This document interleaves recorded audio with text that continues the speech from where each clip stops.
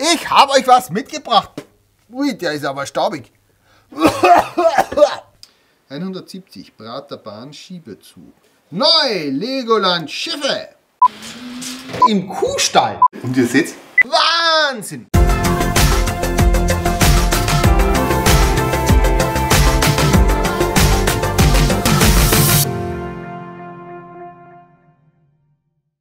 Hallo Ali, ich bin's wieder, Flipperstein Schmatz, euer alter Knack aus dem rostigen Städtchen Neulenkbach im Wienerwald. Ich sitze an meinem selbst persönlich gekauften YouTube-Videotisch im Saal Klassik, dem Museum für Flipperautomaten und Lego-Sets in Neulenkbach, das bereits geöffnet hat.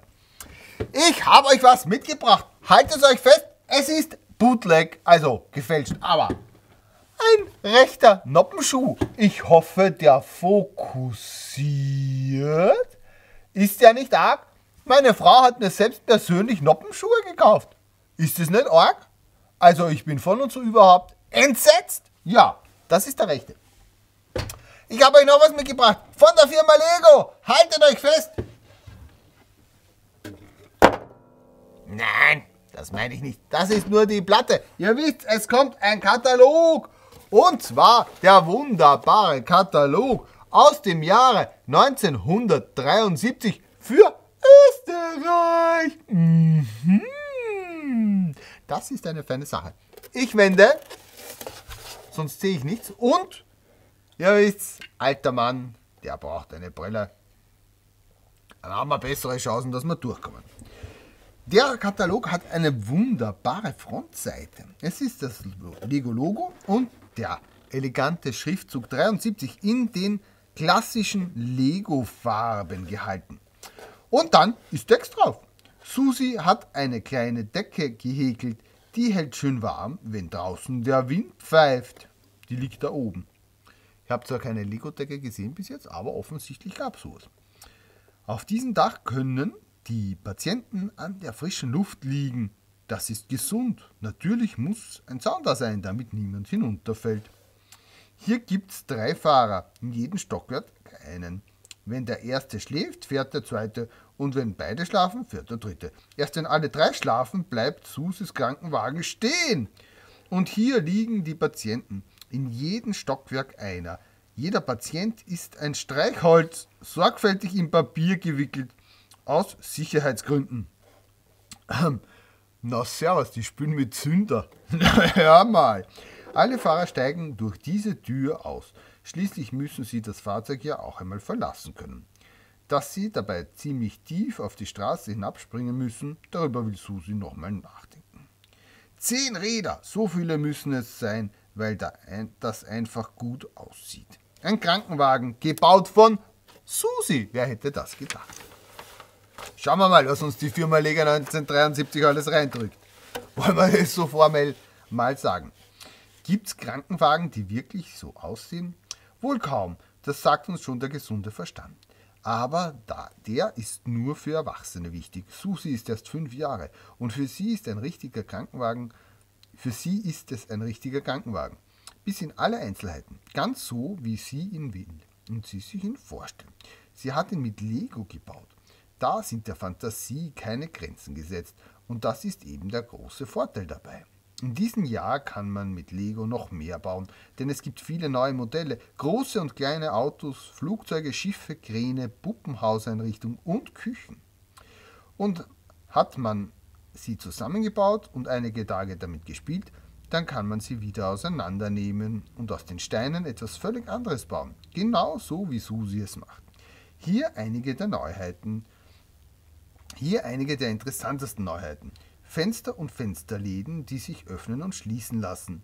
Richtige Schiffe, die auch schwimmen können. Neue Puppenmöbel zum selberbauen. Neue Legoland Autos, ein Hubschrauber, ein Flugzeug, ein Lampenputzer, LKW mit ausfahrbaren Arbeitsbühne und vieles andere mehr. Lego Duplo. Kleine Kinder haben noch kleine Hände die das Greifen erst lernen müssen. Sie spielen mit großen Steinen am besten. Deshalb hat Lego ein ganzes Sortiment mit großen Steinen. Duplo. Damit können selbst Einjährige schon spielen. Und auch wenn sie größer werden, spielen sie noch mit Duplo, denn Duplo lässt sich mit allen anderen Lego-Elementen kombinieren. So kann Duplo auch nach zehn Jahren noch das wichtige Fundament für die interessantesten Konstruktionen und Maschinen bilden. Kein Wunder, Duplo lehrt Greifen und Begreifen. Hier sehen wir verschiedene Lego Duplo Kästen, die 510, 512, 513, 514 und 515. Es versteht sich, dass keine Preise dabei stehen. Ja, was kein Preis ist, wenn kein Preis dasteht, kann er nicht kartelliert sein. So einfach ist das. Eine gute Philosophie, so stellen wir uns das vor. Neue Grundkästen.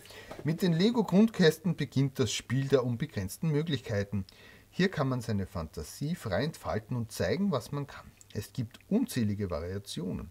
Die Kästen enthalten je nach Größe Fenster, neue Fensterläden, Türen zum Öffnen, Räder, Legosteine, aller Größen und Farben, Bauplatten und so weiter. Lego-Kästen 2, 3 und 4.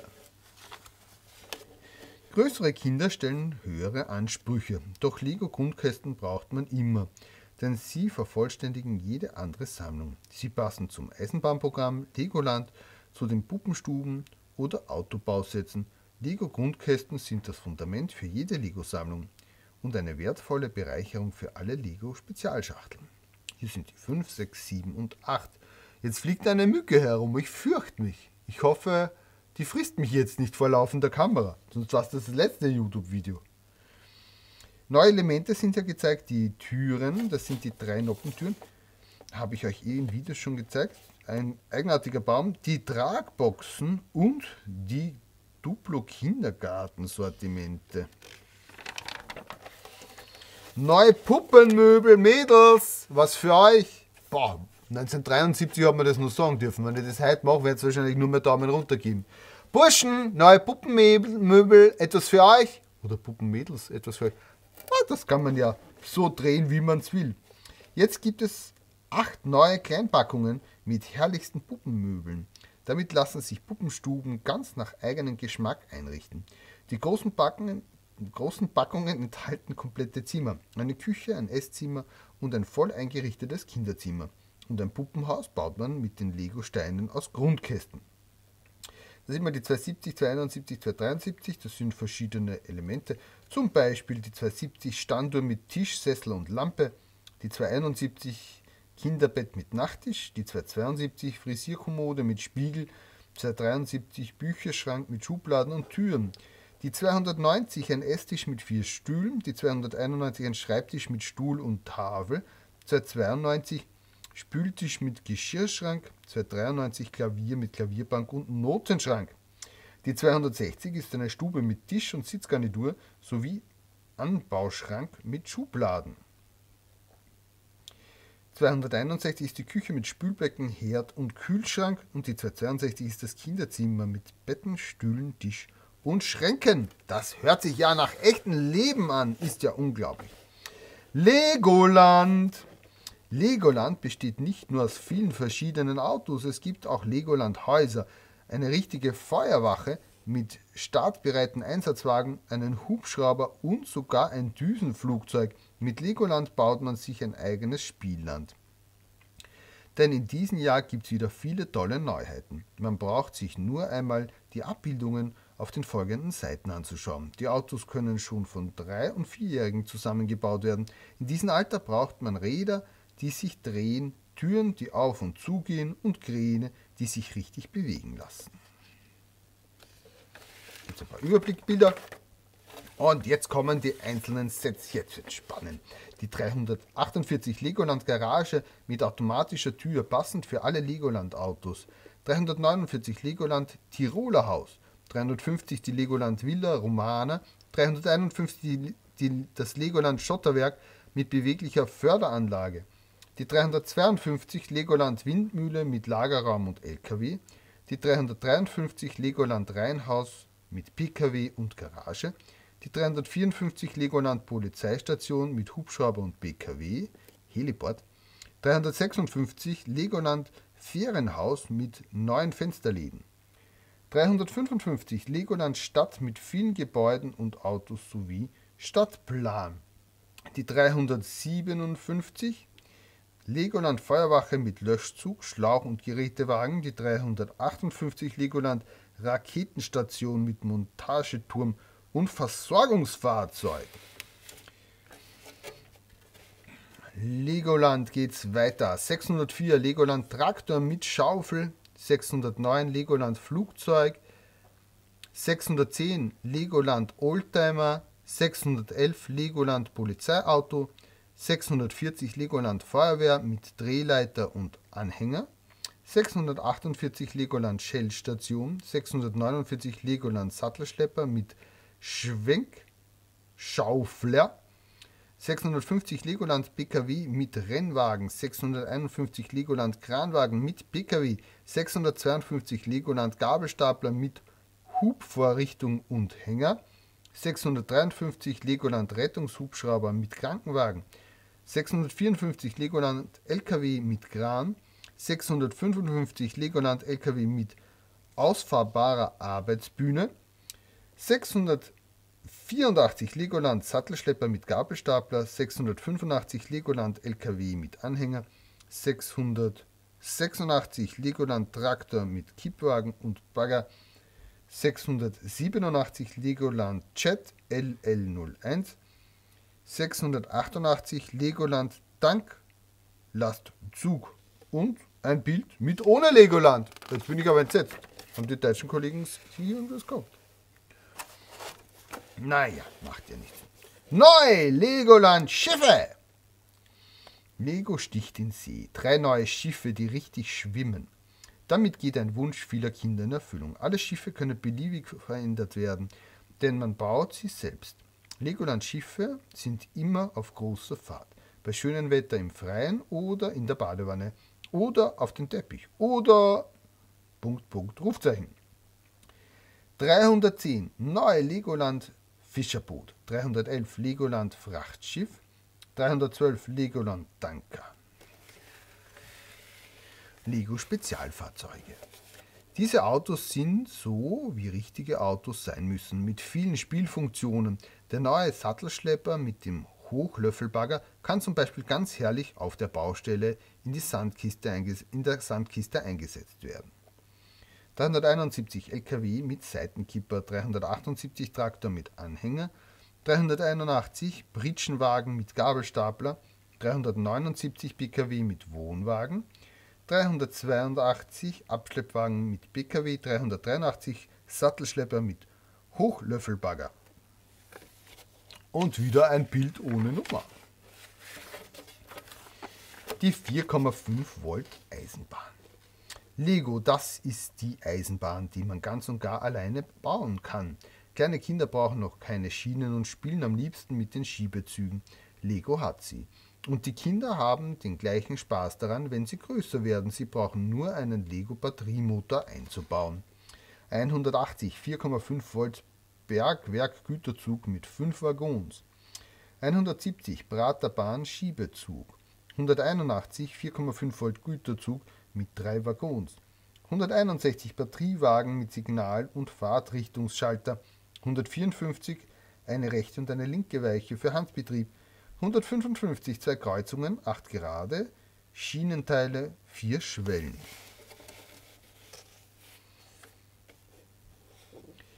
Zwölf Volt Eisenbahn. Aus jedem Lego-Batteriezug lässt sich ganz einfach ein richtiger 12-Volt-Transformatorzug bauen. Alle nötigen Teile kann man einzeln bekommen. Natürlich gibt es auch komplette 12-Volt-Züge und alles, was dazugehört. Angefangen beim Trafo, der auch die Geschwindigkeit regelt, bis hin zur kleinen Stromschiene.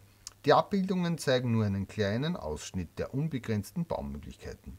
720 12-Volt Elektrogüterzug ohne Trafo mit Tenderlok und drei Wagen.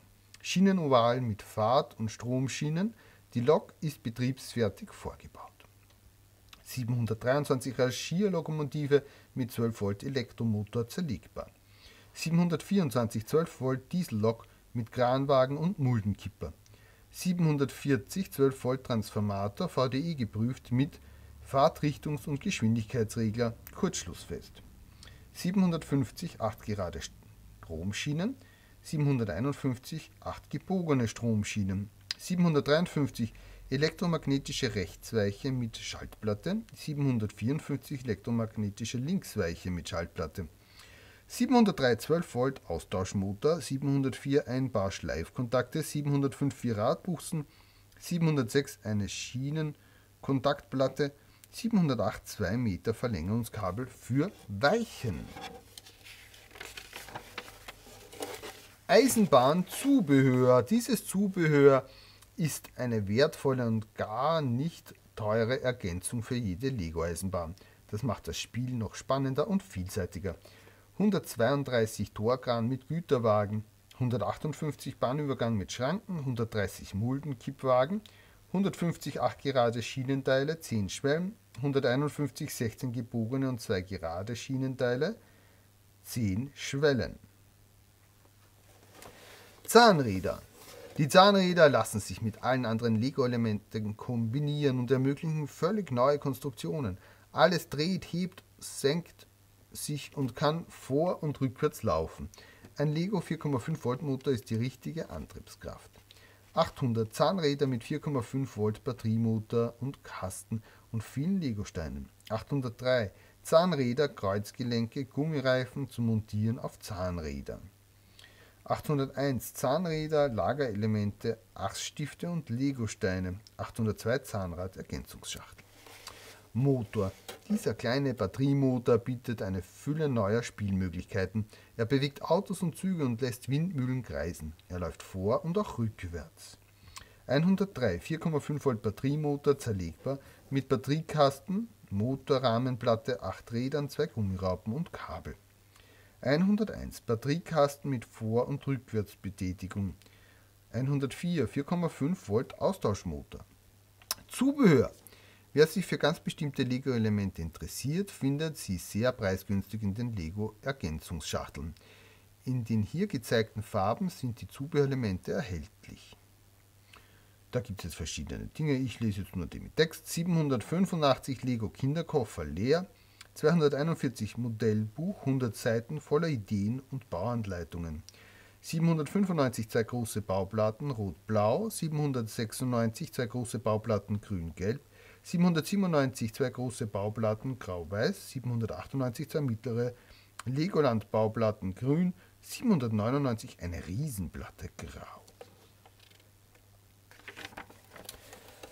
Und auf der Katalogrückseite, da gibt es die erste Education- oder Taktergeschichte. Denken mit Lego. Vergnügliche Spiele für Logik und Mengenlehre. Denken mit Lego ist eine große Spielesammlung, mit der Kinder und Erwachsene spielend die Mengenlehre und das logische Denken lernen und beherrschen können. Mit Lego macht Mathematik endlich Spaß. 1513 Klassenausgabe 904 Kopfsteine in den Farben Rot, Weiß, Blau, Gelb und Schwarz. Spielbuch, Regelkärtchen und Spielpläne. 1512 Normalausgabe 250 Vierkopfsteine in den Farben Rot, Weiß, Blau, Gelb und Schwarz. Spielbuch, Regelkärtchen und Spielpläne. 16197 Spielbuch Denken mit Lego mit über 100 Denkspielen. 16221 Regelkärtchen und Spielpläne. Die Namen Lego, Lego Duplo und Legoland sind eingetragene Warenzeichen. Copyright 1972 Lego. Nicht kartellierte Preise. Aha, stehen zwar keine Preise drinnen, aber sie sind nicht kartelliert. Das ist ja schon mal was. Lego Handelsgesellschaft MBH 10 21 Wien Darnotgasse 13 Printed in Germany bei H.O. Perident Hamburg 975. Nein, ja. Hm? Jetzt wird es aus mit dem Lesen. Jetzt ist es vorbei. 97520 minus OS. Ja, liebe Freunde der Blasmusik, das ist der Lego-Katalog. Er war im Lego-Katalog 1973. Stimmt ja gar nicht. Ist doch ein netter Buch. Also, also die Susi ist doch eine sympathische, oder? was die Tolles baut. Wir sollten uns die Suse einladen, damit sie uns mal so einen tollen Krankenwagen baut. Sollen wir den nachbauen? Ich glaube, da hätten wir sogar alle Teile. Vielleicht werde ich da mal einen Sohn auftragen. Bau mal den Krankenwagen der Susi nach. Hm. Eine Hausübung habe ich noch für euch. Hm. Das ist schwierig. Ich lege mal die Brille weg, damit ich euch in die Augen schauen kann.